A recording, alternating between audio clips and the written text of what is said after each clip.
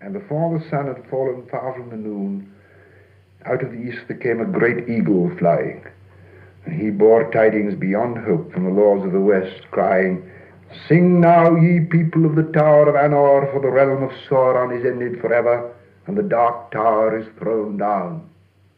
Sing and rejoice, ye people of the Tower of Guard, for your watch hath not been in vain, and the black gate is broken, and your king hath passed through, and he is victorious.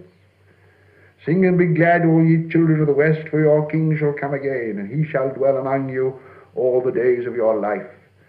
And the tree that was withered shall be renewed, and he shall plant it in the high places, and the city shall be blessed.